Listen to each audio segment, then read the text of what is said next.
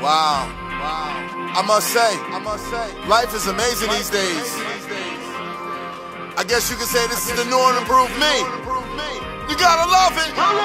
Yeah, blown up in the air. You know I'm living.